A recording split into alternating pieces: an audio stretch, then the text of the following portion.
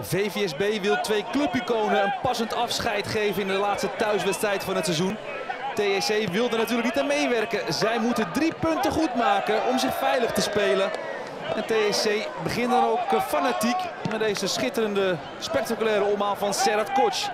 Dit is ook weer een technisch hoogstandje. De aanname is goed.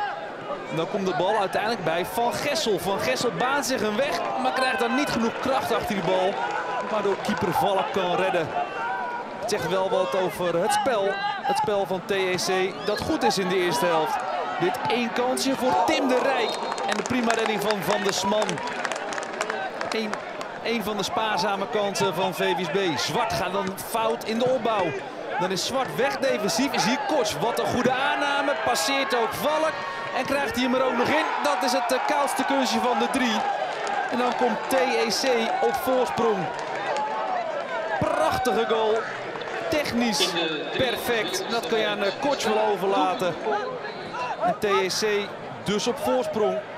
Het eerste stapje is gezet naar rechtstreeks veilig spelen. Bekooi hard voor Koopman, alweer 1-1. En zo is die voorsprong van TEC al heel snel in de tweede helft verdwenen. Goede spitsengoal, loopactie naar de eerste paal. Prima, zoals je het leert in de trainersboekjes. Zo voert Koopman het uit naar die voorzet van Bekooi. Vink, wanneer laat hij wat fraais zien? Het is nog niet zijn wedstrijd. Normaal altijd wel goed voor één of twee bevliegingen die TEC helpen. De Rijk frommelt zich erdoor. De Rijk van de Smal. Oh, wat een flater. En dan is het 2-1. De Rijk tikt zijn eigen rebound binnen. Maar wat gaat die keeper daar in de fout?